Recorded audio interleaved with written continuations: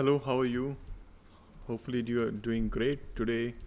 As you can see, uh, my this company, uh, what I'm trying to do is the PepsiCo.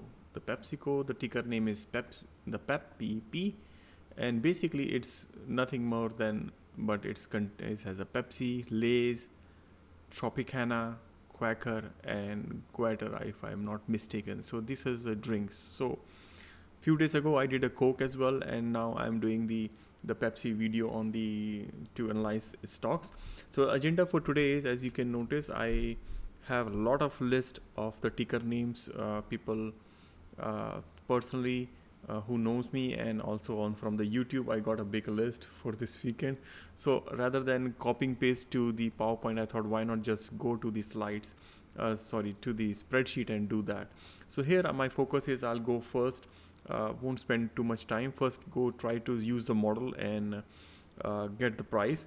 And if the price looks okay then we'll go our journey uh, a little bit ahead right? So try uh, to understand more on from a different perspective. Or even if the price looks from the fair value perspective. If it doesn't look then i'll just stop. It's just a different approach what i used to do before. I try to understand the business and then come to the modeling and pricing later on right so that's what uh, you find a little bit change so without any delay let's get started. So if you're new to my channel myself Pramod Kumar. As you can see on the screen I'm a CFA charter holder and FRM certified and this is my website. Okay? And in my channel I most uh, I perform the fundamental analysis of stocks uh, and just try to put my opinion. Usually from YouTube or personal they uh, request some ticker names so I'll try to put on my list as well okay so let's get started without further delay. So uh, this is as you can see this is the top returns. Hopefully let me put myself on hide so you can easily see. So these are three level high three high level returns and then we uh, go for the enterprise value multiple see how the company stands do some kind of a industrial quick comparison and then go for the dividend discount model free cash flow model and and then so on in the journey. So it's a pretty interesting journey. So please uh, be connected and let's see. Okay. So the return on investment capital if you can see from the past five years uh, the 2015 to 2019 uh, it's this is from their 10k so this is quite good right? So this blue line is return on investment capital which is closer to coming now to 20 uh, 16.93 it's mentioned here. And the return on equity is uh, way higher right? It's uh, closer to 50% which is very good. It started in 5 years ago around 45 and then it jumps a lot and then come down again. The return on asset is consistently it's single digits uh, and it's growing. It will grow from 7.83% to uh, in 18 it was huge jump we can see and then 9 it come back to around 9.31 percent. Okay so that's the overall from the high level. So let's go from the enterprise uh, multiple. So two key enterprise multiple which uh, basically who like to buy the whole company from that perspective they like to see right? So this is from again from five year to now uh, the latest what i got it. And then this is the uh, the average for of two multiples. The blue shows the ev over ebitda ebit and then we add some uh, depreciation on EBIT so we get EBITDA. So I'll mostly people take uh, EBITDA but I'll try to uh, stick with EBIT because this is EBIT is more uh, like the actual operation uh, the, the, the revenue and uh, so that's we better makes sense right because there is some depreciation on all although that's we are not taking out but that kind of a capital if you if you see we need to as a company to set aside to buy the new machinery right to invest and all. So if you want to be less conservative we can take but a little bit more conservative i think blue line makes more sense. Okay so let's start. So from 2015 to it was uh, so basically the average is around 15 right? Little over 15 for EBITDA 17.56 uh, 7 here right? But at the moment the company is looks pretty very uh, expensive right? It goes to 21 so don't get uh, distracted here. Oh the enterprise values goes up uh, then then the company is doing good. No enterprise value can go up by uh, many other factor but we have to think how much the how much the the bottom line the revenue is company or the operational income is the better word here right for ev is company is generating. If the company is generating good operational income doesn't matter what uh, so the, it can uh, double itself in uh, that year. But right now if, now if it need to do that it will take on average uh, 17.57 years right? And in case of if we add depreciation is little shy of 15 so but still around that. So for the industry i think the better is the 10 or lower is good. It's a little bit higher from that side. So uh, and and also higher at the moment from the average perspective but it right? So okay let's continue our journey. So now if i see from the okay so this is a little bit if i see this is the data i got from uh, the internet so these are the different tickers the industries for example we have coke here uh, and KO. One is I think is a bottling company, and this is a, the real Coke, that company. So this KO, if you can compare, or this is the Pepsi I highlighted in green, and these are only I have picked up which are over over two billion and over in terms of the market cap, right? So here, uh, if I just want to compare with the the median PEG ratio, which is coming as 3.25, you can see both uh, Pepsi and Coke are pretty expensive at the at the moment, right? Based on the PEG, because uh, right. So even if I compare with their uh, industrial uh, PE with the industrial median, which is 22.5, the Coke in that sense coming cheaper as compared to Pepsi. So Pepsi is a little bit more coming basically a bit more expensive as compared to the industrial uh, median, right? okay so we have seen the the return top return so let's go back to our financial to say okay what makes that return so what driving that return right so this is the the key ratio a very good model to use that. Is called the PRAT model. In the PRAT model maybe i can put myself uh, back. In this PRAT model basically we have the net profit margin. So again this is for five years. So so this is the latest one uh, in december 2019 on the right. I try to keep uh, from the left to right uh, that pattern. So hopefully i don't have to remind every time on each slide just to save time as well. So if you can see here what driving the return on equity is pretty much what i can see here if i compare with the the profit margin is not uh, that it's below from its average right? Or if you can see from here uh, the historical it was 8.5 okay from december 15 it reduced then it increased so it's up and down. But on the operating margin side if it, it's improved tax burden basically companies retaining more and then asset turnover is not doing very well. Maybe they need to buy more assets but the assets are not utilized as but it's still not bad. If you see uh, if I remove the December 15 so it's little over its average right 0.86 as compared to 8.5 but one thing to stand out here and I think which is normal for these um, pretty uh, big companies I also find or which has been this industry for long like a very mega large cap companies they have a huge uh, debt and they keep issuing the debt at the lower rate and buying the equity because they have a cash flow, they have a machinery to run, but still uh, the financial leverage, so which is saying 5.31 is insane, honestly. And this is coming from their book value, right? Just don't compare from their market value because market value of equity is higher. So using that, we got uh, model, we get the higher growth of 19.70 okay? So why i'm showing this? Because we need to use this number first model which we use is our uh, the model which is called dividend discount model uh, because the company is uh, giving dividend and then we'll use the free cash flow model to come up with the price and then we use the both model to come up with the price our value right? Okay so one of the uh, input we get from here from this model. The another model uh, which we use is the CAPM model is called the to get the required return. Okay so in this model i expect the expected market return uh, is 10% right and that's on average 10 year market return will be around 10 to 12 so pretty much it goes around 10 and because of coronavirus a little bit more.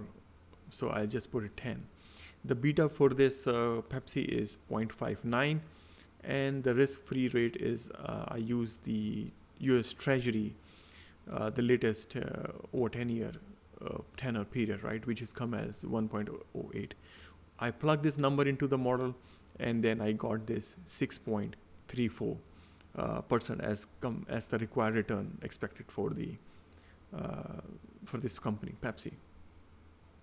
Okay, so I have uh, my key num- numbers which I needed. So let's go to the model.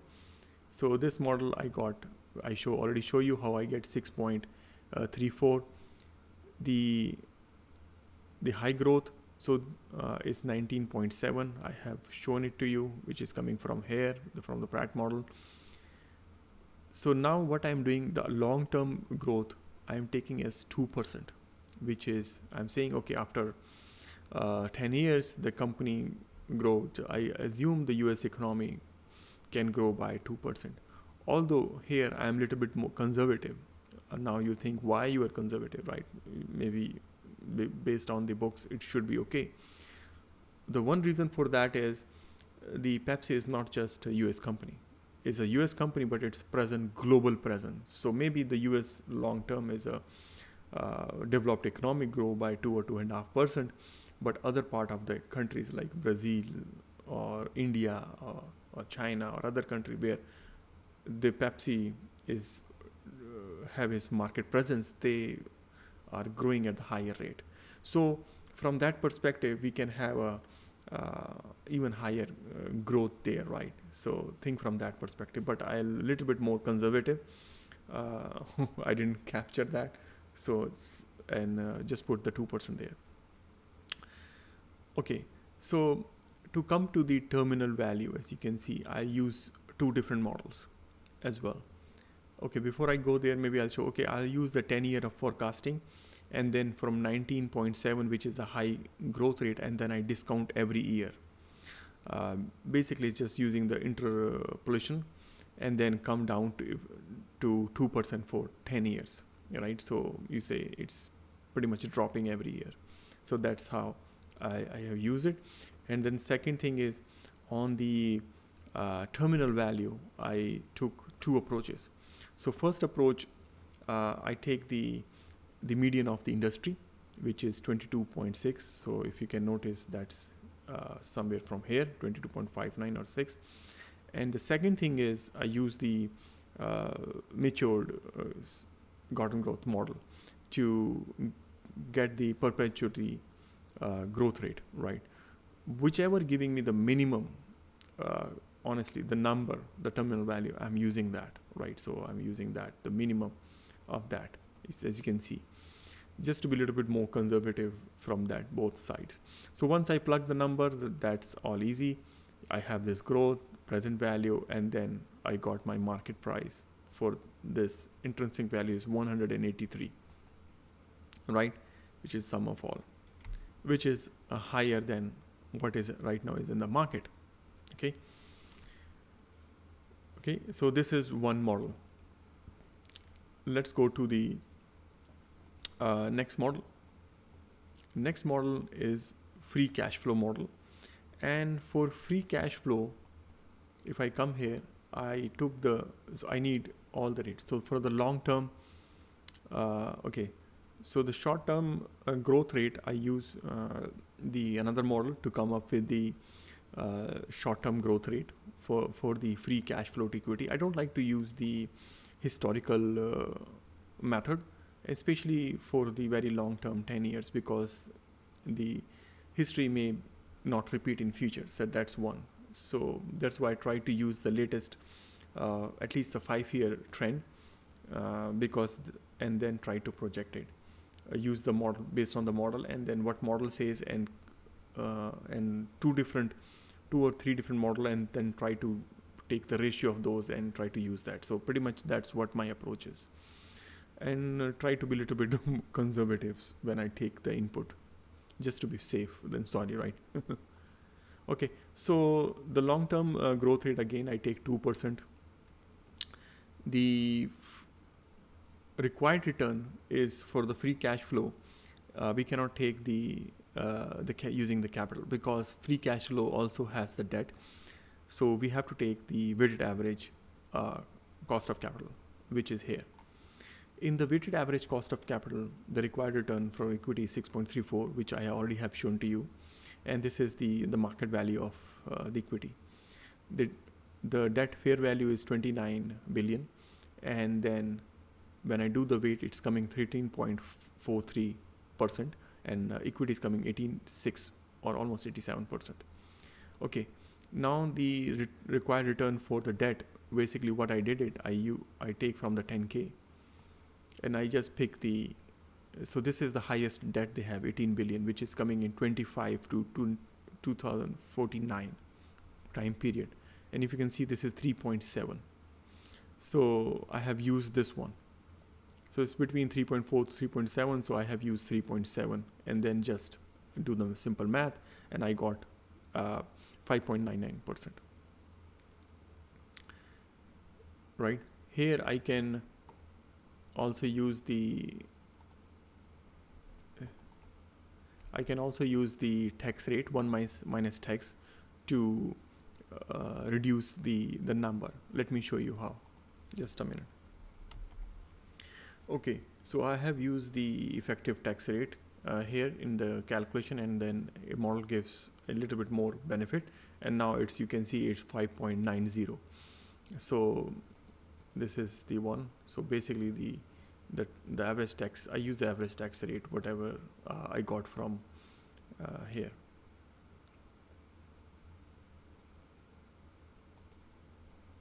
right? So this is my effective tax rate coming as 17.48 percent. I can uh,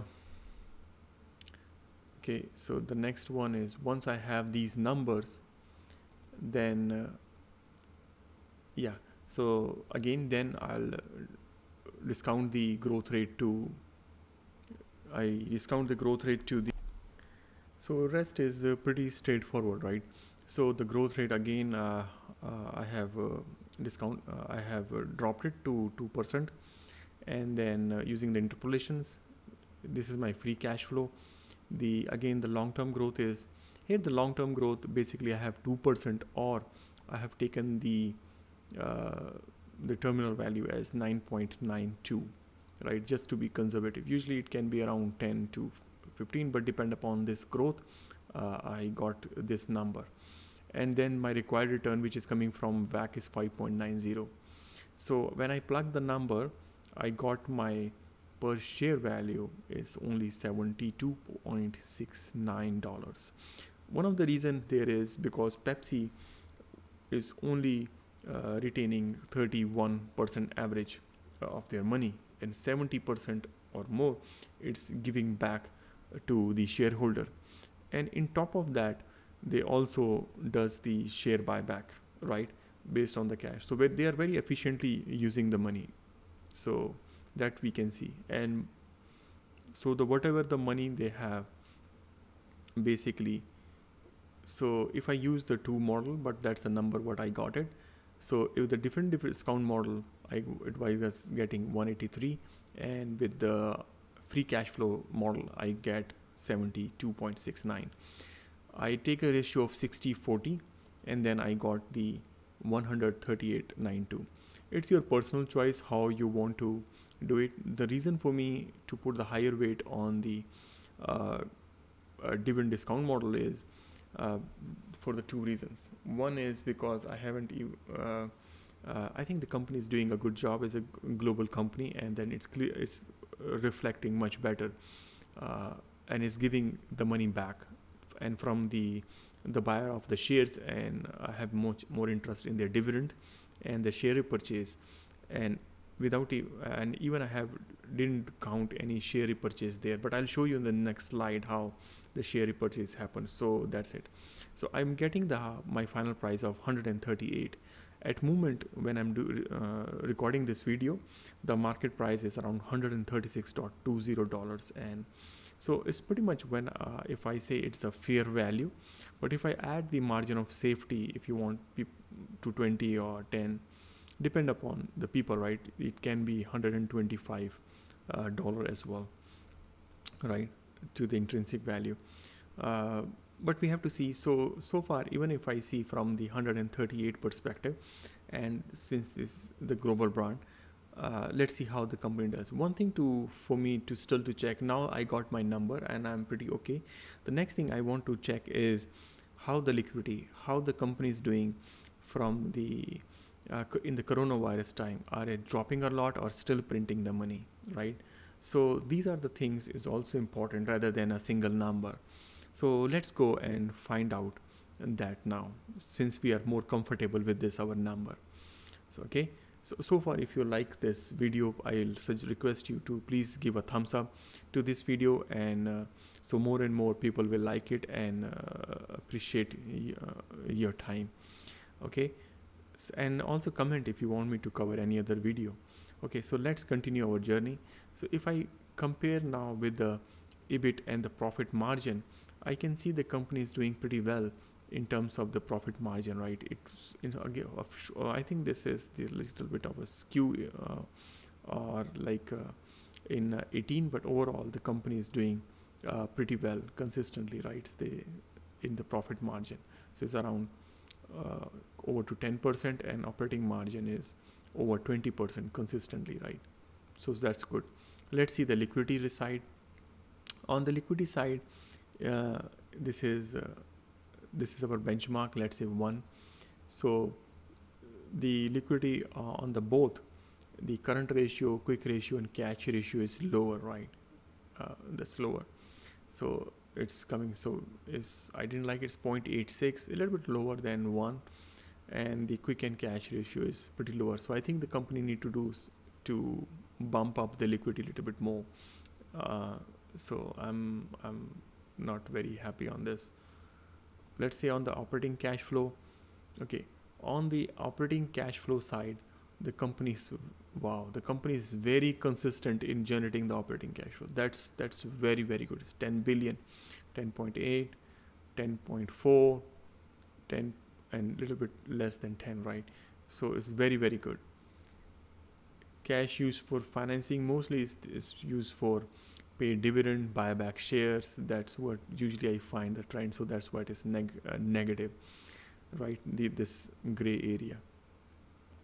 And here seems like this is positive because recently i read there they have raised the they're they're basically raising the debt right? Because that they can as you can see when we calculate the WACC they can do on the lower discount rate. So I'm not very uh, skeptical on that. Okay, so now let's see how the company does on the uh, in the event of the coronavirus. So here, what from their quarterly 10Q uh, income statement. So this is the past 12 weeks and the past 24 weeks comparison, right? So this is uh, so this is 2020 and this is on 2019 so one year back so this year 12 weeks and the last year 12 weeks so pretty much like one quarter. So this is one quarter and this is two quarter right? Two quarters like a six month. So let's see. So if you can see the net revenue right? The net revenue is 15 billion where it was 16 billion.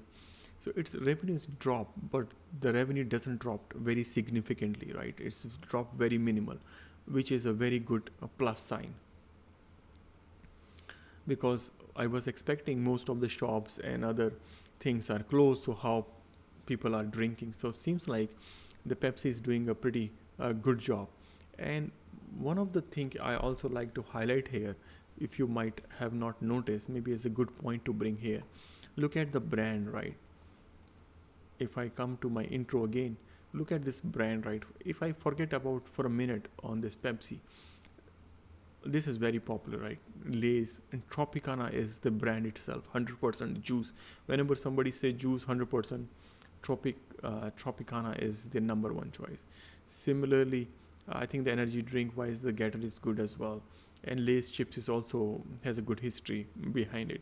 So from that perspective, I think if the company can, uh, I think the company maybe is doing well. Maybe because people are staying home and then ordering online these these drinks and enjoying, right? So that's I'm happy on that. Okay, so the SNG expenses pretty much a little bit over uh, which is understood because now the company has to pay premium to their staff. Operating revenue is lower for sure because the net revenue is lower, and then overall it reflects everything. Okay, I don't want to go here. If you want to read, you can just stop it the video and go through it. I don't want to this video to go more. The next thing is, as you can see here, is the share repurchase plan, which I like to highlight. So this chart, I got it. So this is the uh, the year over year, the quarterly growth, right? You see their shares they keep buying the share it was 1.48 billion around before 2015 or so right and now it's less 0.8 billion. So it's only left 1.4 so pretty much they are buying share at 1.2 or 1.5 percent ratio. So add that on your return as well right? So not only the dividend we are getting we are also getting the share buyback from the company. So overall, if I see, I understand the companies from the uh, we can if we ignore the margin of safety and uh, other perspective, the company is little bit maybe over uh, than its uh, fair value but that's not maybe a few dollars different i find. But if i see from the global brand perspective and stability perspective i think this is a very good company. The company is doing very well diversifying into another drinks and chips area and uh, this company has some solid uh, foundation so that's my take on it and uh, i also have some shares on the company. Uh, not a lot but uh, i'll see if some market crash comes maybe i'll go again uh, for this pepsi.